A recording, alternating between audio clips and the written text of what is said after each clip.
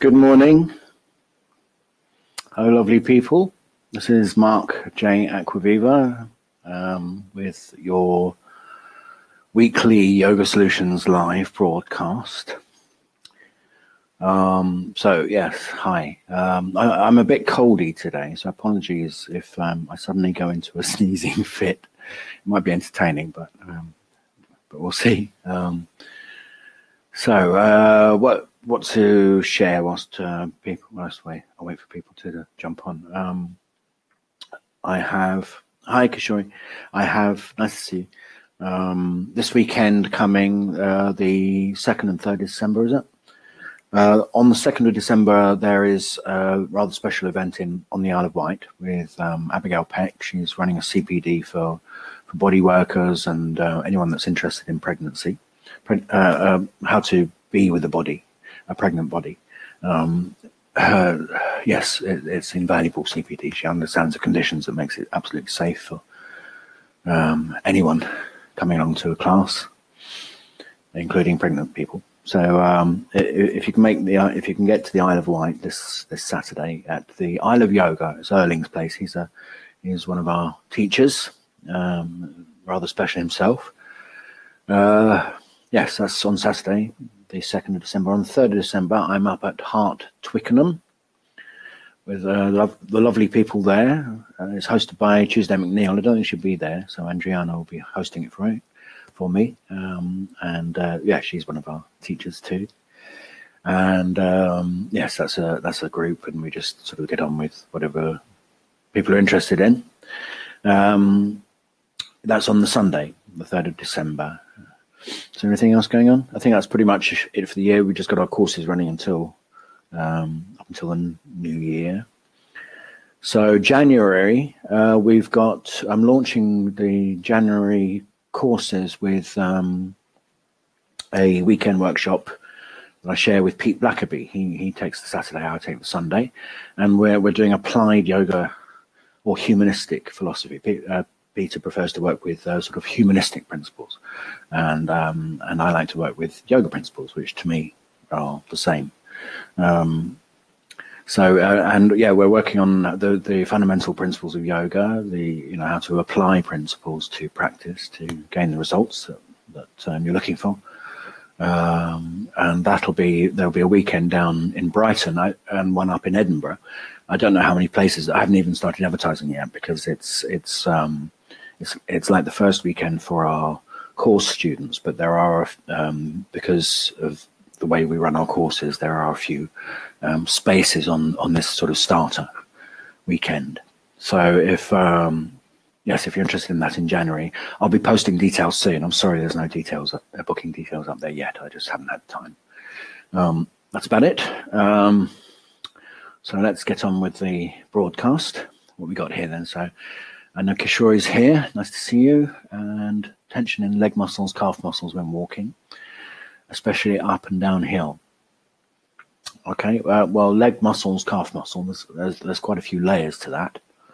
Um, if you're using your feet well, then um, there are some deep muscles along the behind the calves, deeper than deeper than the calves themselves that do the job. Um, if it's all in the superficial calf muscles, then um, the feet are too floppy. And and when when when you use the deeper foot muscles, toe muscles, that sort of thing, um, then you get stronger structural support when you're walking. Leg muscles, if you're talking about the thighs, it's because the the hips are not working enough. It's not about muscles, and uh, it, it, just isn't. We we tend to treat the body as a as a sort of a meat machine and when we experience um, some of that musculature working, uh, whether it's whether we consider it tension or strength, um, kind of depends on our relationship to it rather than what's actually happening. Muscles, uh, understanding muscles, uh, is not really where it's at. It's um, it's an interesting it's an interesting sort of way of objectifying the body. Uh, but it's not how we move.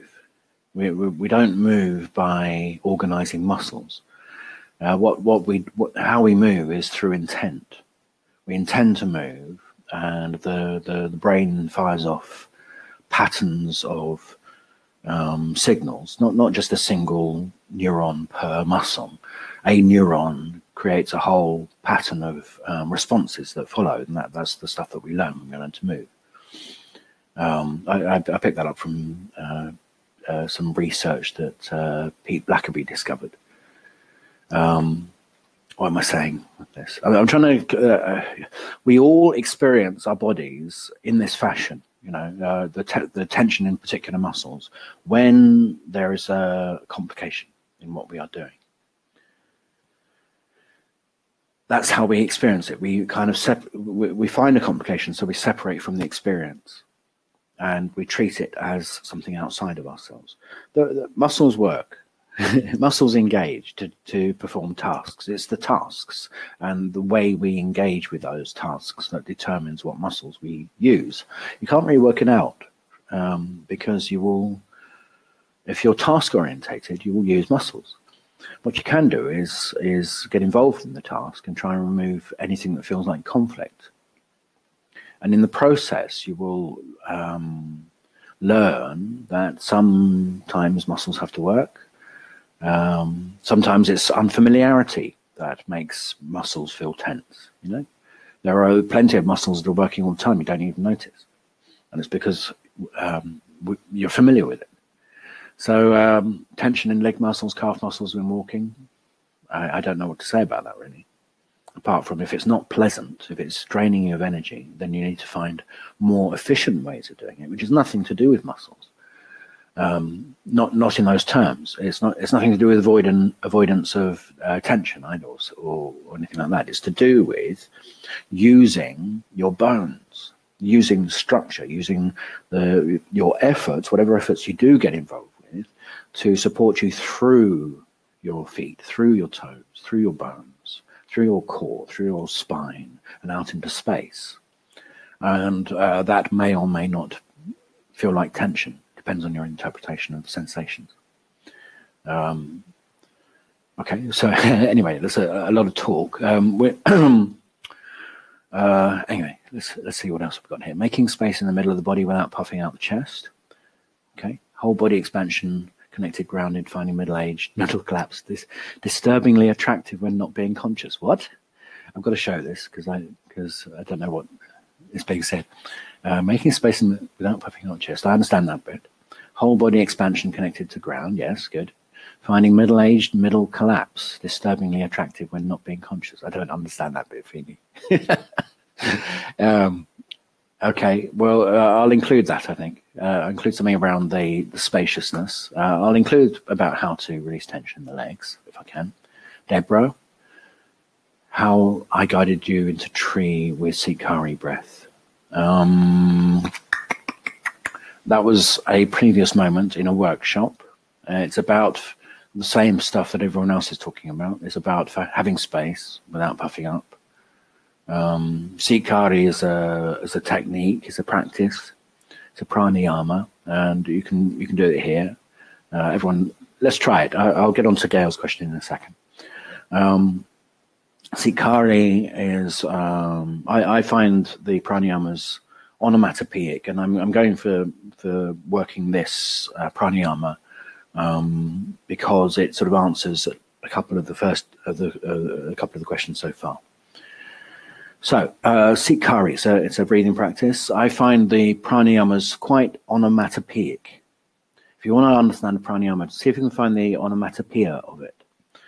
Um, if you inhale the breath making the sound seat uh, with a, is a sort of gentle smile uh, on your face, and it's making the sound through your teeth gently. It's it's sort of what you would do if you got good news, and and it's described as a breath that resonates across the heart, and uh, I, I, feel it to, to, be like a smile across the heart up into the shoulders. Uh, good morning, Jill. Uh, I'm just running through Sitkari. Um, I feel it as an arrival of the breath that smiles across the heart and up into the shoulders, uh, and then to allow the arms to get involved with that. Um, you sort of continue the movement out through your uh, arms as if they are wings. And uh, if you grab hold of a wrist, it helps you relax the shoulders, even though they are widening um, away from you. Okay, so if you grab hold of a wrist, relax, um, yeah, relax the shoulders wide, and make the sound seat as if you'd received good news, as if breathing across the heart and into the elbows, into the wings, and then um, it's a retention breath. All, all pranayamas are on some level.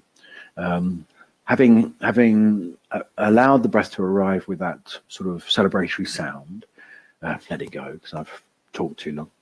So let's do it again. Seat. With the widening from the across the shoulders, it, it needs to be a whole body action. Okay? Seat, and you kind of retain the breath high and wide. So it's not um it's not a holding of the breath with tension. Okay, it's a widening. And then the release of the breath wants to be away from the space that that creates.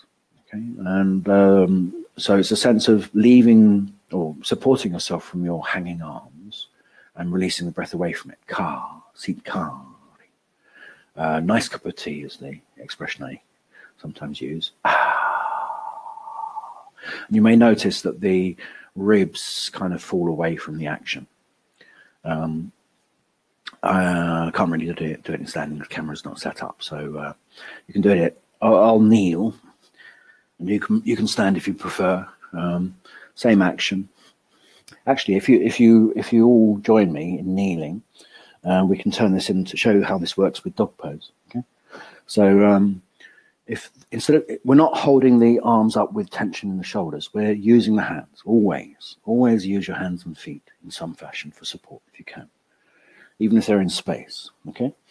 So we're using the hands to relax the shoulders so the shoulders can relax wide, and then the breath arriving as an expression of that seat. You retain that for a moment because you want to you don't want to drop that space away as you release the breath. So you, you retain the breath for a little while, and whilst you work out how to gather in around it, and the, the sound k of kari helps you find the gathering in. Okay, so seat there's a gathering in that is a bit like the holding the breath, and then you release the breath um, inside of that. And it needs to be a release down to your base and a release of tension, so that the ribs fall away from things. And that and that sort of um, one more time. So seat, retain whilst you float, and gather in the middle, away from it, and then the nice cup of tea sound. In that moment, just put your hands down and let your knees come off the ground. Because you should find um, a bit more space. It's a little trick I do to help people um, feel things differently. Um, so I don't know if that uh, that uh, that reminds you anyway, um, Deborah. It doesn't matter whether it's tree or dog pose or anything. It's a reminder of the pranayama. And it goes a little way to answering Feeney's question how to make space in the middle of the, the body without puffing out the chest. Well, first of all, um, the the pranayama itself doesn't do it. Okay, it's the um, wholehearted engagement with the somatic content of it, or the the emotional content of it, the the cheerfulness of it. you know, because when, when the whole body engages with these things, what happens is the spaciousness that you're talking about. Um, uh, yeah, the spaciousness you're talking about, making space in the middle of the body.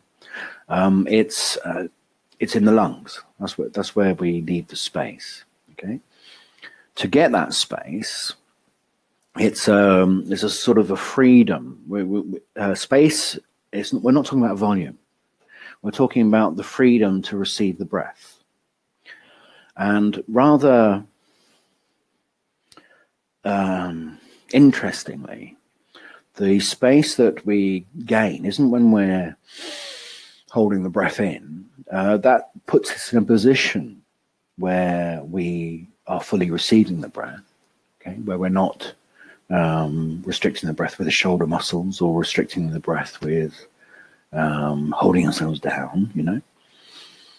it puts us in a position to receive the breath when we are retaining the breath. But the release of the breath away from that, the release of the breath away from that position in space, is the ribs gathering in together away from the wings. So what you're left with is a spaciousness between the rib cage and the shoulders. Um, the, the, lungs have emptied towards the center, so there's a spaciousness between the inside of the rib cage and your heart and your spine. You know, it's a it's a roundabout way of seeing things. It's not how we see things with the um, when we're looking from the outside. It's uh, it's an inside-out way of seeing things. You create space by collecting yourself together away from space, not by stretching. Uh, you can try it one more time. So uh, it doesn't have to be this position. It could be any position. You could maybe try sitting, try sitting turning. Okay, so uh, be always be with your hands and feet. Always be with the quality of touch to make it functional. And uh, then what's touch for? It's it's for support. It's for support. It's for interaction with your environment. It's for um, it's for receiving things. It's um, you know you have to be with your touch to get any genuine um, body responses. So if you're with your touch and actually I'm just looking at Gail's question. Spasms. In, okay, here we go. It's the same area. It's always the way. Um, she's talking about uh, spasms in the trapezius muscles. Forget about the muscles. The muscles are doing a job. Um, they're spasming because I don't know they have too much work to do. This will sort it out for you. Okay. But what we need to do is, uh, if you want the surface muscles to let go, you need to work deeper, and then the surface doesn't have to hang on so hard. Okay. So here we are. Um, let's turn to one side. Use the be with your touch, be connected to your touch for support, for um, sort of interactive engagement, for receiving. Hmm? Be with your touch. And from that touch, you sort of widen, but it's across the heart and across the shoulders. And you do that with your limbs. You do that by being in space, by widening. And the, the widening action actually brings the spine itself, especially the bump at the base of the neck, closer to your touch. And it's it's that um, movement of the spine through the wings that takes the strain out of the local muscles, uh, the superficial muscles of the trapezius. Okay, Gail?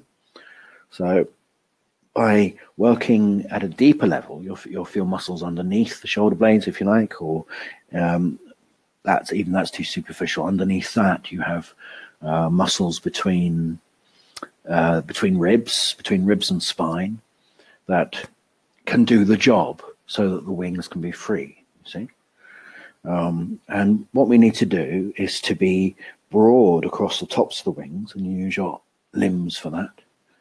You widen with the limbs, and those deeper muscles will be involved. You breathe it with the sound seat. That's the pranayama. The retention gives you a moment to work out how to float.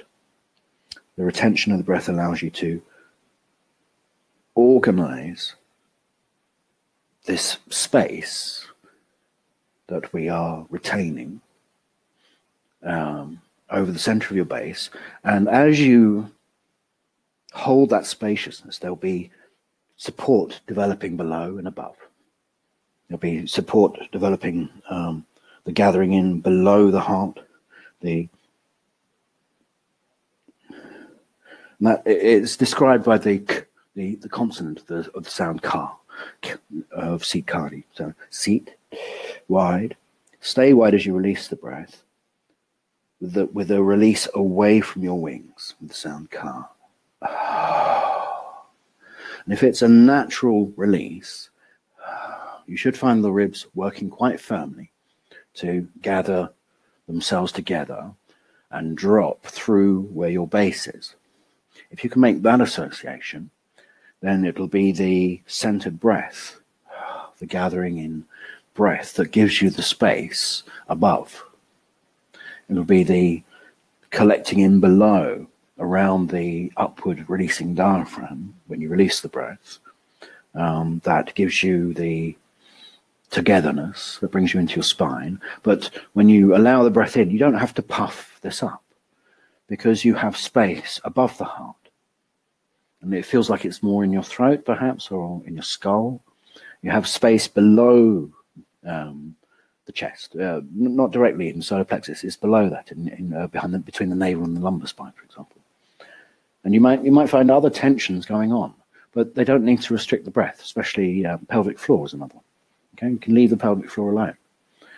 Um, so wide seat. You can imagine this at both ends. You can be wide between your thighs as well with the sound seat. Retain for a moment so you find the, the central kind of support of that. And it's got the quality of the consonant k. And when you find that um, central support that allows you to retain the space of the breath, then you simply release the breath. And where does it release? It's not so much outwards, it's the pressure releases inwards towards the center. Ah, see, kari. And when you find support elsewhere, uh, Gail, you should notice that your trapezius muscles, superficial muscles, haven't been um, relied on to carry the weight of dead shoulders or dead shoulders. You know, you're not using them to hold yourself up, nor are you hanging off them as you rest out. Instead, you'll have a more central, central um, relationship from the spine, seat, and a more centered relationship to the release of the breath and your touch. Ah. So that it's the core of the body that um, the central breathing mechanism around the diaphragm and the lower ribs and abdomen. And the and the, the release of the breath, the, the breathing muscles in the upper spine as well, in the upper ribs. It's all the central stuff working to uh, breathe and release towards around the central axis that leaves you free in these superficial muscles. Um, the same is true, Kishori. Um, the same is true for when you're walking.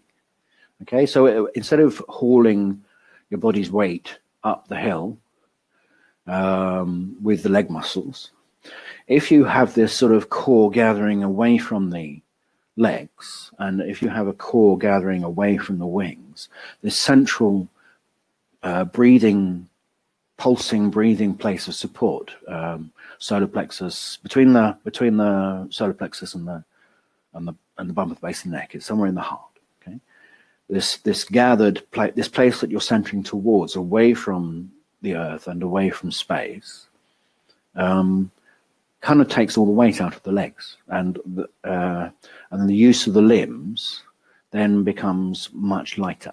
I haven't really got, I haven't got time to try it out, but um, I don't know. Maybe if you if you get get your question in um, again next week, I'll I'll maybe I'll apply the same stuff to that.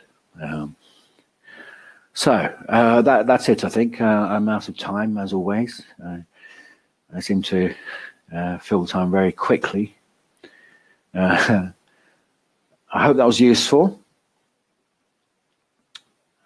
Um, yes, I, will just reiterate. Uh, it, I know I, I, seem to be going into deeper areas of practice on on these Facebook lives these days. I would like to know if um, the information is still useful because it kind of relies on relies on being able to engage with the practice. Um, I, I, I recommend that you try following what I'm saying, even even if you haven't got a clue what I'm talking about, um, because it's the investigation into these things that I mean that, that I'm talking about. It's, it's investigation into the meaning of the things that I'm talking about that help you discover for yourself what I'm what I'm talking about. Um, it's not something to understand through the head and then apply to the body. Uh, if you if you're spending any time trying to translate, it's a very very slow process, and it will be limited to that which you understand already um, from what you've learned. If you can explore something of what I'm talking about directly without necessarily knowing what I mean, then your exploration of the meanings of the words will be a physical one, and so it will be your body talking to you that informs you. It's it seems like a um, potentially a, a, a pedantic differentiation, but it's it's so pivotal.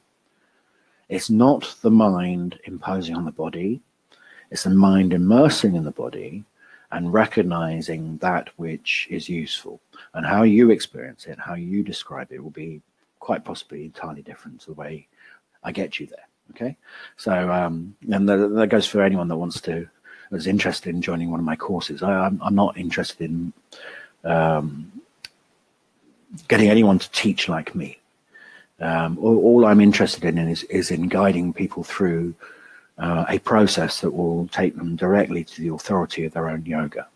And then if they are teachers, or if they can, if they're ready to teach, if they want to teach, they want to share, then that's where you share from. And that's the most natural place to share from. So um, anyway, um, that'll do, I think. Thank you so much for watching. I hope that was useful. If you if you found it of value, please please do share it around Facebook. Um, if you if you can um, if you can put it on on appropriate groups where they're interested in in movement and, and body work and yoga, of course, um, that's great. It, it, looks a bit rubbish if I do it myself, but if uh, if other people do it, then um, it, it, yeah, I don't know. It just um, seems to seems to come across better. So if you if you feel to share it, then thank you very much. I'll be eternally grateful. Any amount of spreading this work it makes me very happy. So um, yes, maybe I'll see one or two of you at next weekend. Maybe Abigail will get to see some of you down at the Isle of Wight. And um, yes, I shall say namaste. I'm Marc J. Acquaviva of the Acquaviva School of Yoga signing off. I shall see you same time, same place next week. Goodbye.